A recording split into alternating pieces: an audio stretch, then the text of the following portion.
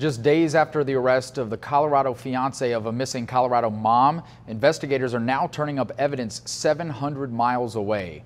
Kelsey Berreth's fiance, Patrick Frazee, was arrested on suspicion of murder on Friday. Now, police say they've found new evidence in Twin Falls, Idaho. They didn't say what they found, though. Idaho is where investigators discovered a ping from Berreth's cell phone soon after she vanished last month. While we have not found Kelsey at this time, information has been developed that is helping to narrow down our search. She was last seen grocery shopping on Thanksgiving with her one-year-old daughter. Police say Frazee may have had help with this murder and there could be more arrests. He is due in court next week.